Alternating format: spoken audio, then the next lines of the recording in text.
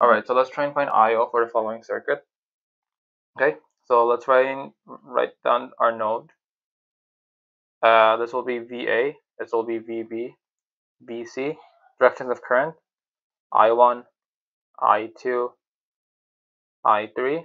Let's write down our equation. So the equation for VA, everything's leaving it. So it's IO plus 4 plus I3. For VB,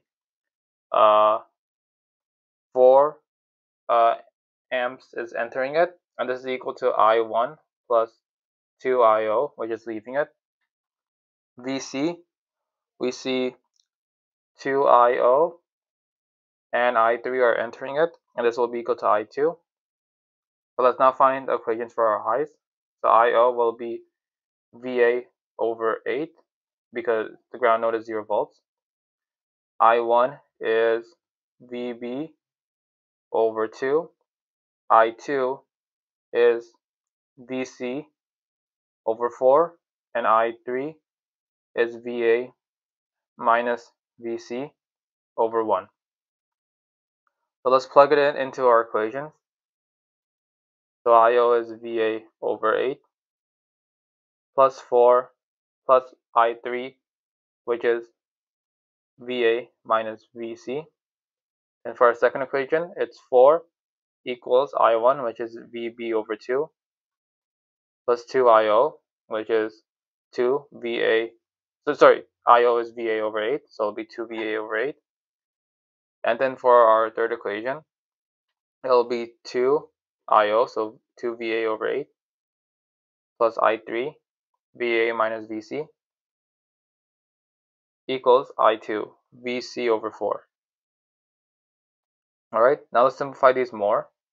So we have uh, uh, VA over 8, which is 0 0.125 uh, VA, uh, 1 VA, so it'll be 1.125 VA, minus VC, and let's bring the 4 to the other side, so it'll be minus 4.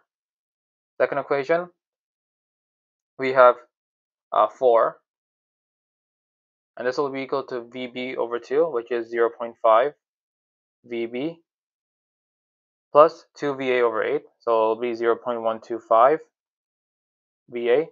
Alright, so we have 2 VA over 8. So that's uh, 0 0.25 VA plus VA. So 0 0.25 VA plus 1 VA, that's 1.25 VA. Oh wait, I saw this. I made a mistake here.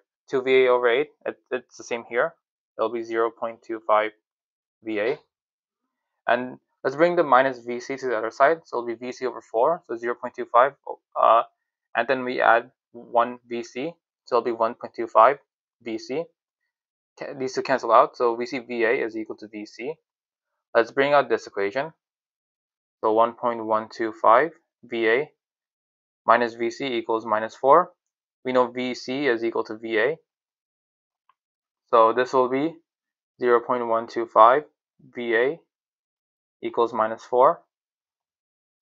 Now we can divide both, sides by 0 0.125 and we get uh, VA equals minus 32. Now we can find for IO. IO will be VA, which is minus 32 all over 8, and that gives you minus 4.